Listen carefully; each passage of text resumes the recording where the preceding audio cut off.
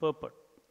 One has to execute his prescribed duties according to his social position as a Brahmana, Kshatriya, Vaishya, or Shudra. The prescribed duties of the four classes of men in human society are also described in Bhagavad Gita. The activities of the Brahmanas are to control the senses and to become simple, clean, learned devotees. The Kshatriyas have the spirit for ruling and they are not afraid on the battlefield and they are charitable. The Vaishyas are the mercantile class of men, trade in communities, protect cows, and develop agricultural produce. The Shudras of the labor class serve the higher classes because they themselves are not very intelligent. From every position as confirmed in Bhagavad Gita, Swakarmana tam abhyarchya, one can serve the Supreme Lord by performing one's prescribed duty. It is not that only the Brahmanas can serve the Supreme Lord and not the Shudras. Anyone can serve the Supreme Lord by performing his prescribed duties under the direction of a spiritual master or the representative of the Supreme Personality of Godhead.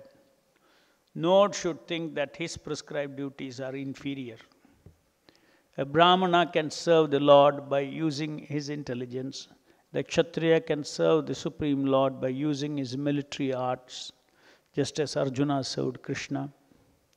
Arjuna was a warrior. He had no time to study Vedanta or highly intellectual books. The damsels in Brajadama were girls born of the Vaishya class, and they engaged in protecting cows and producing agriculture. Krishna's foster fathers, Nanda Maharaj, and his associates were all Vaishyas. They were not at all educated, but they could serve Krishna by loving him and by offering everything to him. Similarly, there are many instances in which Chandalas, or those who are lower than Shudras, have served Krishna.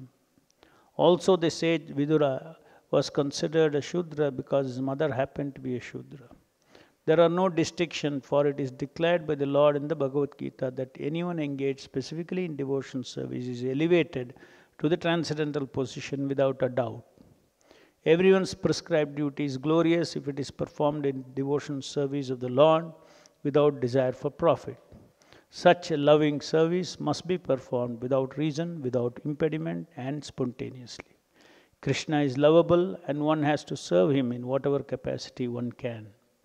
That is pure devotional service. Another significant phrase in this verse is Nati Himshrena, with minimum violence or sacrifice of life. Even if a devotee has to commit violence, it should not be done beyond what is necessary. Sometimes the question is put before us you ask us not to eat meat, but you are eating vegetables. Do you think that is not violence? The answer is that eating vegetables is also violence, and the vegetarians are also committing violence against other living beings, living entities, because vegetables also have life. Non devotees are killing cows, goats, and so many other animals for eating purposes, and the devotee who is a vegetarian is also killing. But here, significantly, it is stated that every living entity has to live by killing another living entity. That is the law of nature. Jivo, jivasya jivanam. One living entity is a life for another living entity. But for a human being, that violence should be committed only as much as necessary. A human being is not to eat anything which is not offered to the Supreme Personality of Godhead. Yajnashishtashinas santaha. One becomes freed from all sinful reactions by eating foodstuffs which are offered in yajna, the Supreme Personality of Godhead. A devotee therefore eats only prasada or foodstuffs offered to the Supreme Lord. And Krishna says that when a devotee offers him foodstuffs, foodstuffs from the vegetable kingdom with devotion, he eats that. A devotee is to offer to Krishna foodstuffs prepared from vegetables. If the Supreme Lord wanted foodstuffs prepared from animal food, the devotee could offer this, but he does not order to do that. We have to commit violence, that is a natural law. We should not, however, commit violence extravagantly, but only as much as ordered by the Lord. Arjuna engaged in the art of killing, And although killing is, of course, violence, he killed the enemy simply on Krishna's order. In the same way, if we commit violence as it is necessary by the order of the Lord, that is called Nati Himsa. We cannot avoid violence, for we are put into a conditioned life in which we have to commit violence, but we should not commit more violence than necessary or than ordered by the Supreme Personality of Godhead. Thus ends the Bhaktivedanta purport. So here, Lord Kapila is advising Devahuti with respect to how to carry on her life in the process of devotional service, being situated on a transcendental platform. We saw the last few verses about devotional service performed in different modes under the influence of modes of material nature. And then the Lord talked about pure devotional service, which is meant only for pleasing the Supreme Lord. And when that happens, then it is an uninterrupted flow of devotional service without any interruptions from Maya. Now, this particular verse says that the devotee must execute his prescribed duties without material profit. Without excessive violence, one should regularly perform one's devotional duties. This is a great piece of advice because it's this advice saves us from different conflicting situations that we face in this material world when we are engaged in devotional service. Just like Arjuna was facing a peculiar situation in the battlefield of Kurukshetra, where actually he had to kill his own relatives. And there's nothing more extremely disturbing in a social sense than Arjuna's situation. And yet, Krishna urged Arjuna that you do your prescribed duty and become glorious. Don't just back out of your prescribed duties. To understand this better, we need to know, and that is revealed here by Prabhupada, by Lord Kapila, that the construct of the material world is such that it is not possible to be always non-violent. It is not possible always in this material world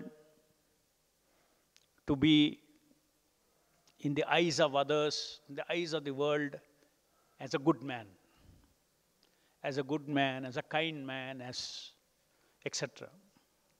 In fact, Krishna chastised Arjuna. Why do you want all this certification from the people? Actually, you lose all your. If you fight, also you, you know, if you don't fight, also you you are the loser. Because everybody will materially also say that you are a coward, you ran away. So, what is the point in not fighting? Therefore, do your prescribed duties. Especially when we become, when we take to devotional service, it is obviously a definite instruction for all of us to develop nice sadhu qualities of kindness, of tolerance, of patience, of compassion, etc. And often it appears to us that we are facing a situation where we are not able to exhibit these qualities. And then we are in a conflict. And then the devotees, they cannot reconcile. I have seen many times devotees in the temple community. We're all, it is also a small society. It has all the dynamics of social existence in this world. Because as sadhakas who have not yet become pure devotees, we all have our karmas, the influence of our karma, prarabdha karma is influencing us. Our big burden of karma is away, no doubt, by the mercy of the spiritual master. But till we die, the karma that has started fructifying or destined to fructify in this life will keep unfolding in everyone's life.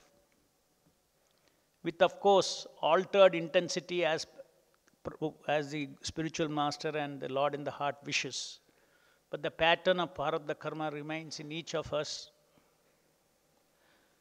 which means the dynamics, the social dynamics of the outside world will also, at least in sample, act within the community.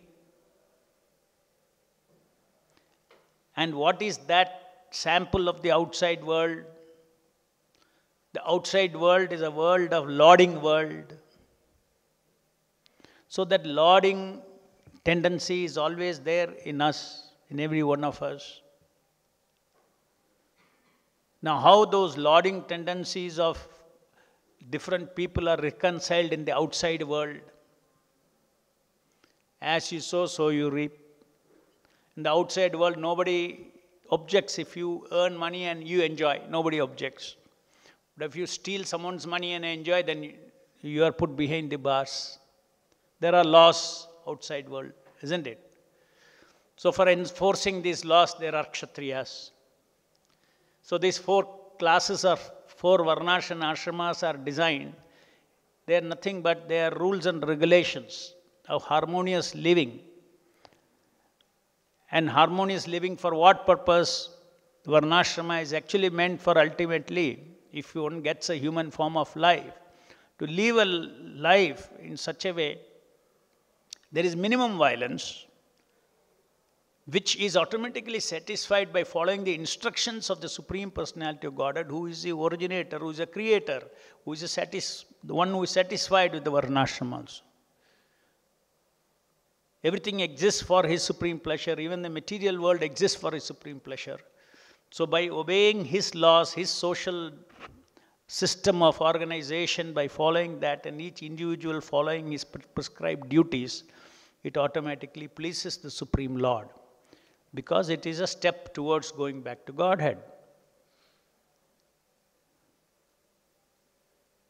So, coming back to the community of Vaishnavas, the community of Vaishnavas also, all these dynamics will be there and each devotee has to do his duty with minimum harm to others, minimum violence to others. For instance, sometimes devotees feel very bad. Why, Prabhu, this devotee had to leave? We could have accommodated, accommodated, accommodated, accommodated. Yeah, we try to minimize by accommodating, accommodating, accommodating, accommodating. But when he becomes a disturbance to the rest of this community, then he has to, he has to leave. It may appear like violence, but he is committing violence inside. So you have to minimize the violence, isn't it? His violence is he is disturbing everybody's faith in Krishna consciousness. He is disturbing everybody's faith in Prabhupada or anything. Then can we keep him? No, we cannot keep him.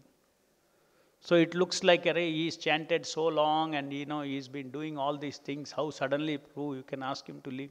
Yeah, if he's not wanting to, if he has lost his faith in Prabhupada, why should he be here? He's got faith in some other guru and some other this thing and he's criticizing Prabhupada and finding fault with Prabhupada. Can we be sadhus? No, we have to be Kshatriyas. You have to tell him to go. Don't disturb. So it's a reality that this devotees have to become very mature. These dynamics operate even within the community of the Vaishnavas because we are all not pure devotees. So these things, prescribed duties, are given to us, and within the society of Krishna consciousness movement, there are enough directions from His Divine Grace, Srila Prabhupada, in the form of hundreds of letters, how this community, how a community, Vaishnava community should be managed, how it should be kept free from Vaishnava offenses, and how the managers also should be strong, when they should do what they should do, without being sentimentally attached. This is sometimes very hard for a neo- neophyte devotee to understand.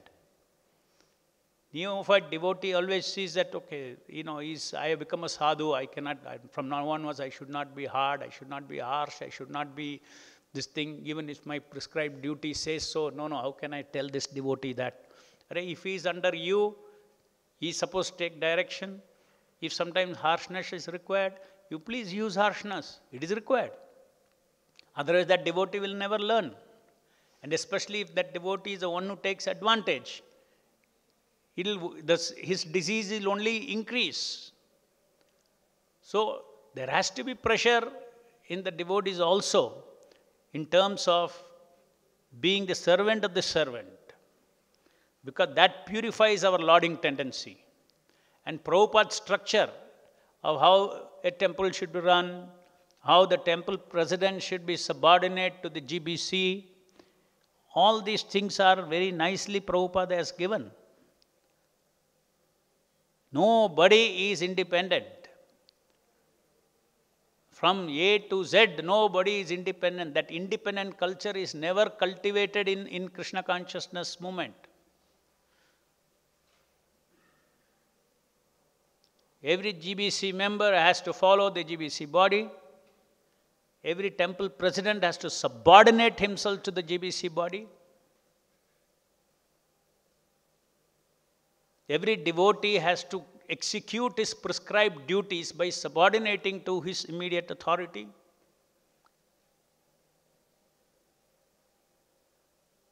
This is part of the rules of living.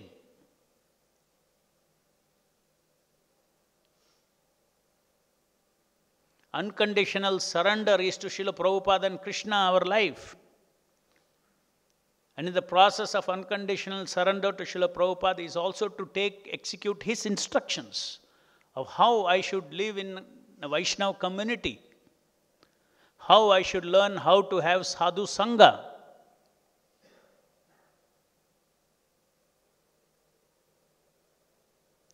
So the sense of independence is different, the sense of individuality is different. Each of us are individuals, and Srila Prabhupada and Krishna appreciates each our individual service. But the sense of independence is what we are trying to cure our disease.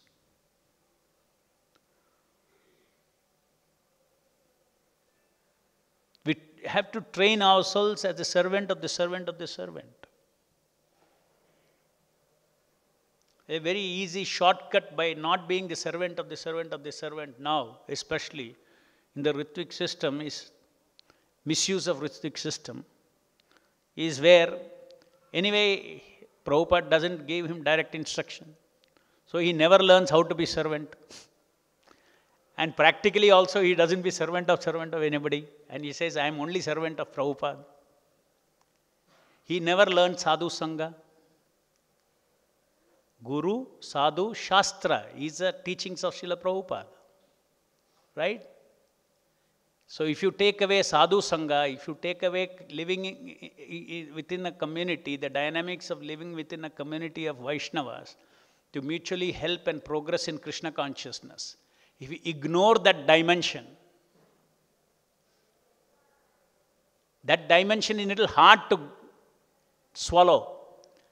Some devotees will fight. Some suffering will be there. some injustice will happen to you, it will cause you pain, or so many things will happen, like anything in the outside world. But actually, that suffering makes you spiritually wiser. Living in the community of the devotees, rubbing each other's false egos, the sparks that generate from that will set you thinking and will make you mature to stay away from false ego, to give up false ego. So sadhu sangha is very, very important to cleanse ourselves of sadhus, uh, of our anarthas. Anarthas, they harm us, they bring us suffering, and then it sets us thinking, what did Prabhupada say here? What did Prabhupada say there in this situation? I should follow what Prabhupada said. Then you become wiser, you become more mature devotee. So, then if somebody is so many sentimental situations in practical devotee life we see. If somebody is continuously disturbing you, no, no, no, I don't want to go and complain. No, you have to do your duty. Otherwise, you will harm your devotion service. No, I am a nice person. I don't want to complain about him. I want to be nice with everybody. This nice with everybody is the worst philosophy in life. That is what this verse is against. That's very much a very deep disease when you come into sadhu life. And that is exactly what Arjuna also fell into. You want to be nice. And the entire Bhagavad Gita, Krishna is saying, don't be nice. Do your prescribed duties. Kill them was his command. So, what is in this? It is not about nice or killing. The instruction is not about nice or killing. It's neither of that. The instruction is to do what pleases Krishna. That is the basis of Bhagavata Dharma, to do what pleases Krishna. That stands supreme. Not what your mind likes, what the society likes, what is considered to be pious, what is considered to be you know, sinful, all that irrespective, I don't care. It pleases Prabhupada and Krishna, it pleases a pure devotee and Krishna. I will do it, I will execute it. Only then you become a transcendental devotee.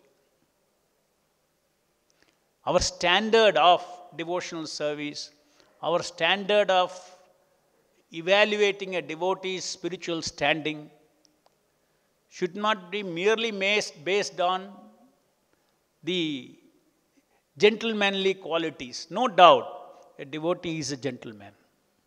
Devotee has got gentlemanly qualities. But that gentlemanly qualities, in its perfection, you can live with that only in the spiritual world.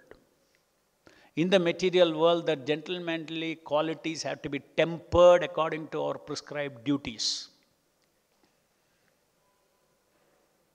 Like how Prabhupada says, we, we kill vegetables and we offer to Krishna and we take. So there is no sin. Moment we offer to Krishna. Similarly, Krishna, Arjuna killed so many people, so many relatives. Did he get sin? No. Krishna said that opens the doors for liberation.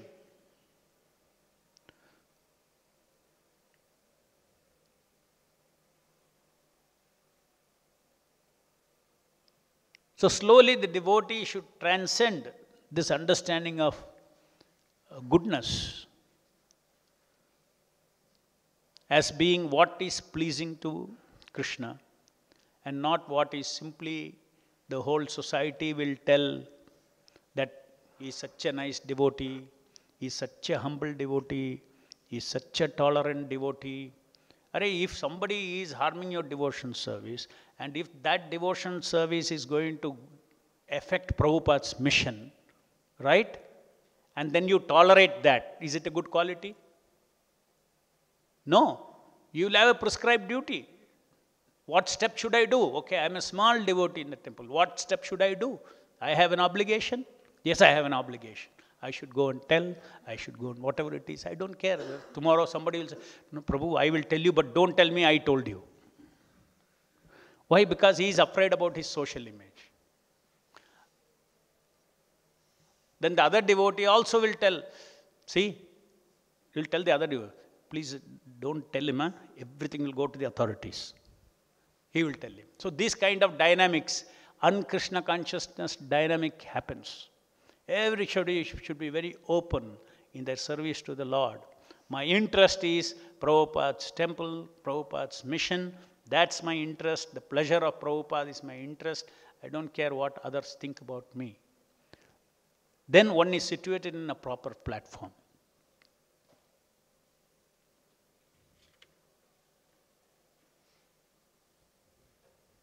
Fighting is required. Required? If it is required, it is required. Like all our devotion service today are standing on the platform of fighting. Isn't it? Even in, in when when when uh, first court case was there in, in, in America, where the, the the authority stopped book distribution, Prabhupada said, "Go to the court and fight." And they fought, and they took all Prabhupada's book, and then they gave, and then judge gave a verdict in our favor saying this is a old Vedic, old Indian tradition. There's nothing, this is not a cult, etc. You are aware of that Leela. And Prabhupada was closely watching that court cases. And he was giving the guidance, you know, how, how to argue before the judge. He said, go and give all the books. That was his thing. And that really affected, it changed. There is nothing that in Krishna's service, just because I am a sadhu, something cannot be done. This is what we have to understand. But there is an instruction, very important instruction. If you are violating the norms of this material world, you violate minimum. That instruction is coming from you without excessive violence. It's not black and white. Without excessive violence, one should regularly perform one's devotion service. When I am performing my devotion service, in the course of it, some envious people may feel offended, may feel, you know, affected, distressed, disturbed. Minimize it, no. That instruction is also there. Don't be reckless. We have to be sensitive. Uh, Prabhupada, even though he says, Arjuna, that he was weak and he did not want to kill the people, the purport Prabhupada appreciates his qualities. He appreci- appreciates his, his attitude. Uh, so basically, we need to have that attitude because in the spiritual world there is no violence. But we cannot imitate being in the spiritual world. So it's a good quality, but then we have to strike a balance here in this material world and do what is prescribed. So, in the same way, the devotee is, does not want to harm anybody. Does not harm anybody. A devotee does not want to disturb anybody. That is his deep quality inside him. But with great regret, he may have to harm somebody. he may have to fight somebody. He may have to go to court. It's not that we want to enjoy it. we may have to be harsh, especially like Kshatriyas, as management. We have to be harsh sometimes. But the principle should be not to enjoy that power and harming others, but to minimize that. Because if you don't minimize that, then you don't execute your service. What was the result? Why Kurukshetra was you know, destined because of adharma. So, for a larger cause, the larger cause is the proper administration of devotional service in the temple, let us say. Everybody is protected in their devotional service, everybody is encouraged in their devotional service. The Kshatriya's duty, the temple management's duty is to see that one devotee does not disturb another devotee. This is one very important thing. every devotee should feel protected. I get protection from the king. That is, a, that is the ideal. That is the way the, the Vedic society is supposed to run. That is the reason, reason why the Kshatriyas given that much power. So the management also is given power to impart protection to the community and the endanger or, or the, the potential danger that everyone has is encroachment by another's lording tendency upon you. And that is not only one way. Because we have lording tendency, we also go and encroach upon others.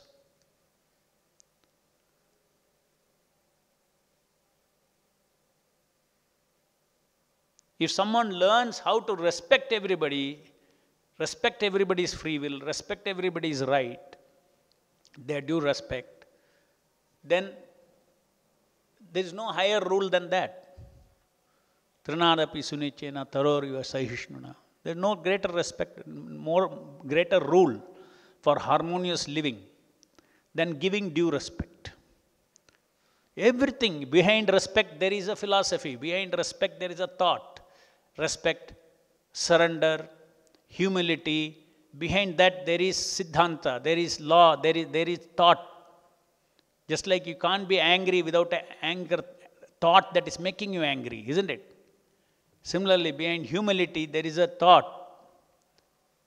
There is thinking behind it. Behind surrender, there is a thinking behind it. One cannot, or behind respect, there is a thinking behind it. It respect cannot stand alone. When it stands alone, it is called sentimentalism no, I can't do this. I cannot, you know, fight for Prabhupada for this. I cannot. You say that, then you, that is not, uh, you know, they are all Vaishnavas, this, that, all these things. Then you are not executing, then that is a sentimental understanding of respect. Behind respect, there is a thought. A thought that pleases Krishna, the thinking that pleases Krishna. So that is exactly what Arjuna was preached to by Krishna in the battlefield of Kurukshetra. And here also, it's very, very interesting to see this particular instruction of uh, without excessive violence.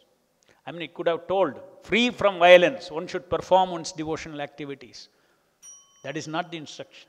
That is not the direction. Because that's not a reality. Not a reality in this material world. Without excessive violence, minimize it.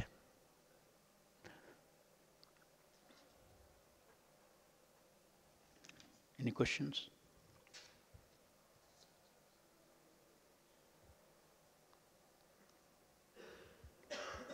Prabhu. uh, in this class, you uh, stressed upon the fact that we should not be afraid that, you know, while doing uh, our duty, sometimes it may happen that we may have to create violence. But in the first or second instance, maybe we may not be afraid, but later on we would, we would have realized that while doing that uh, excessive violence, or I mean, that in while doing the duty, we may see that, you know, we have not followed certain instructions. Hmm? We may see that we have not followed certain instructions. Ah, while doing that. While doing that. Ah. Okay. So that causes one kind of fear that, you know, whether if I uh, take up the part of, you know, while doing my duty to use some, some kind of violence or harm, I may end up doing something wrong. No, first of all, you see, it is, you should very clearly define what is your duty. You cannot take up that which is not your duty. If your duty is only reporting, it ends there. If you are in the position of correcting somebody, then you take steps to correct that somebody, whether he likes or not likes. So, taking, you need to have sharp intelligence for this. Exactly what is your prescribed duty? Don't generalize and jump into. Okay, here is something I see that something against the interest of Prabhupada is happening. What's your prescribed duty? Do it. To come and inform. People who have the power to do it. Isn't it? And if you tell them and if they don't use, then they get their sin of not. They fall deficiency in their service. So you have to always stand in your platform of executing your specific service in each situation. And not that, you know, go on fault finding everywhere. Suppose something comes in your, by naturally comes, falls on your screen. What you have to do, your duty, you have to tell. Right? So, like that, different situations, and also in very complicated situations, you need to take directions from Prabhupada and Krishna. In mysterious ways, Prabhupada and Krishna will give directions. Not that Prabhupada is not there now. In complicated direction, just like Krishna, just like in Prabhupada the Bhagavad Gita, purport says, not that everybody can take that now Krishna is telling me to kill everybody, I'll kill. But how do you know when? Ordinary, the ordinary day to day small things very easily we can understand. We can use normal intelligence and discriminate and uh, take up actions.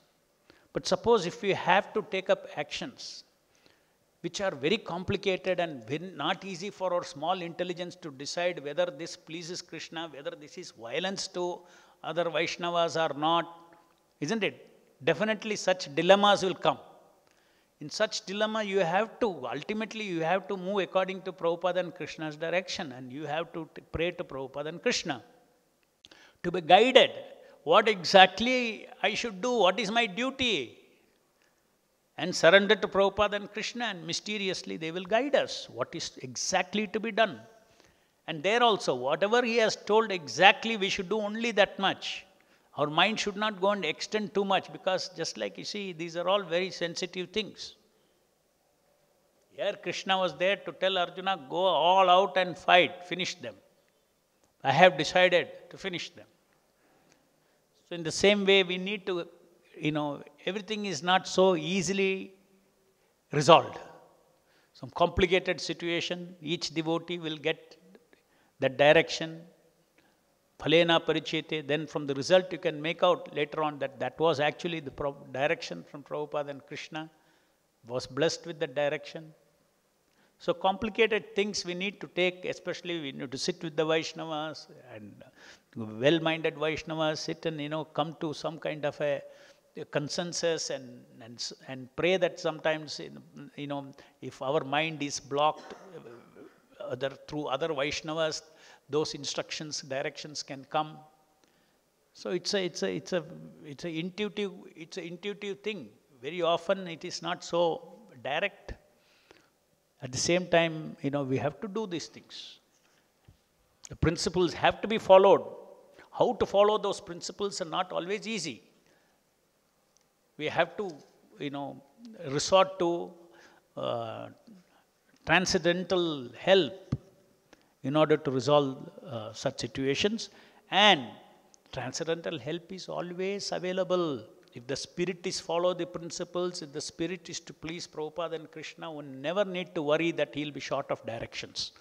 Directions will always come.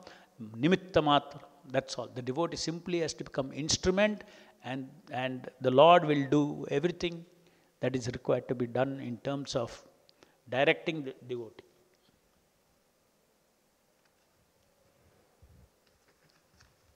Hare Krishna Prabhu. If this understanding of violence that you Prabhu spoke, spoke in the class, if I want to understand uh, this, if I, want, if I want to judge this on the practical level, uh, just uh, this previous question answer you told that things should be uh, analyzed based on the results. So like um, uh, to violence towards another Vaishnava, Vaishnava as per your duty. Uh, if you get the result like No, that you don't, when you are doing, you don't think of result. I'm saying later on, when it is possible to learn things from the examples that are, that are there in the Shastra, that are there in the devotee's life, what all, you know, hardship they had to go through, what all apparently harsh actions that somebody had to take, and what is the result of that. Like Prabhupada never liked to start another institution. He went to America, and even after initial success, he was writing to all his God brothers, please come. Come and help. Let us expand our Guru Maharaj's mission. Not one person responded to Prabhupada. And then Prabhupada started his own institution. And see the result of that? That means Krishna was directing. So that's what I meant by result.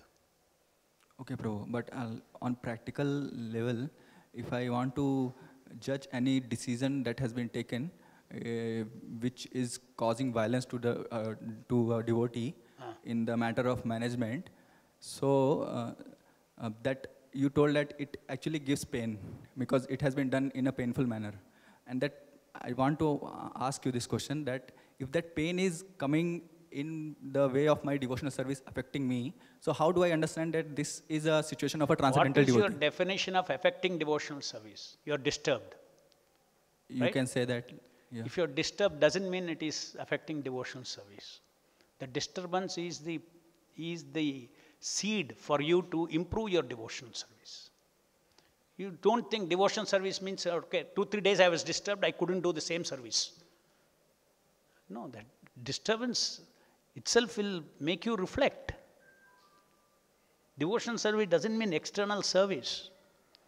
Devotion, external service is a manifestation of our devotion. So if you're disturbed, you could not do devotion service. You disturb means now you resolve the disturbance. Why I am disturbed? Why I was chastised? Why I was told not to, you know, um, do this, do that? Why th- I feel that there is injustice between two devotees fighting, and this decision was given, and it was not fair to me. All these things, you're disturbed. And if you're disturbed, then it defect, affects devotional service. It should not affect. Now you will simply you have to pick yourself up and say that I should not affect. These things are part of the worldly life. Even in the community of Vaishnavas, I shouldn't get disturbed. I should carry on uninterrupted my devotion service. So it's a great opportunity for you for such things.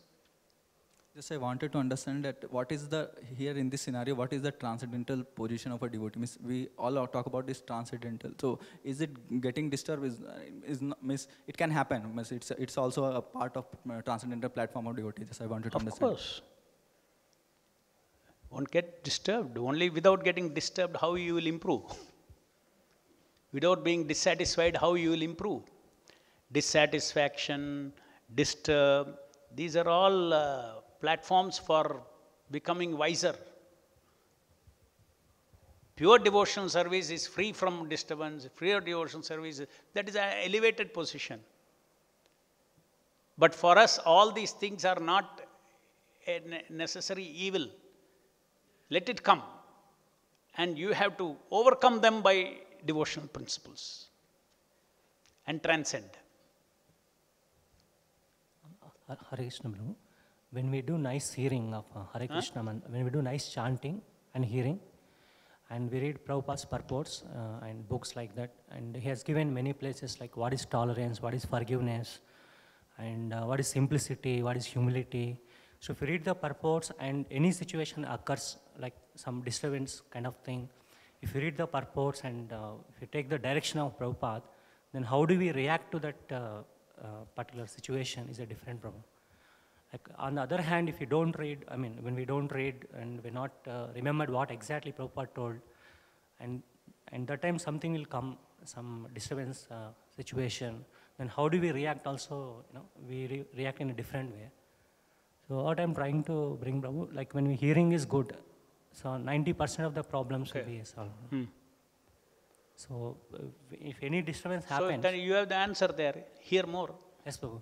So if any disturbance happens, so first we have to see First we you are hear. hearing properly not, or we are reading properly not. So this is the main. Uh, Any disturbance happens, take Prabhupada's book and read. Become transcendental. Don't go for specific solutions. is it good, Prabhu? Is it Lift good your consciousness up and then you solve your problem easily. I'll solve my problem and become transcendental. It will not work. Chant one round, read Prabhupada's book, go to another dimension. It, will, it has got the potency to take your consciousness to another dimension. From that dimension, this will become a problem will become no problem, very easily solved. So you are telling that sometimes we need to take it to other, we need to, we need to inform the authorities, something happened, You have to? uh, we need to take the issue to the authorities. yeah. So that they'll be knowing about that. Yeah. So on the other hand, we, uh, two choices there. One, we can do that. We can take to the authorities and we can complain. Or other thing is you just, uh, you know, uh, get some read or uh, try to, is it, uh, I mean, What ultimately problem should be solved, no? yes, ma'am. It's an objective thing. If there is a problem, then the problem should be solved. In the interest of Prabhupada, the problem should be solved. For example, ex-devotee is having some anartha, Prabhu. Huh? Some ex-devotee is having some anartha. Huh. So a lording over, for example, is having lording over tendency. So we know All that of he's, us have. He, we know that he's lording over me. Huh? Uh, we know that uh, he comes and uh, he lords over us. So one, two ways. They lord over us and we lord over them. Two reacts. We don't know. So two ways we can react. Ah, two ways. Ah. One is uh, just tolerate. Both should be humble. It's not my uh, man. Both should transform. it's not my anartha. so it's not my anartha. It's its problem. So let me continue with my devotional. That is one way, Prabhu. And the second way is you can tell to authorities, Prabhu is more lording over. So which one? Like I mean, what should we do now? Chant Hare Krishna. वृंदराज Shrimad Bhagavatam की जय जगत गुरु शिल प्रभुपाद की जय।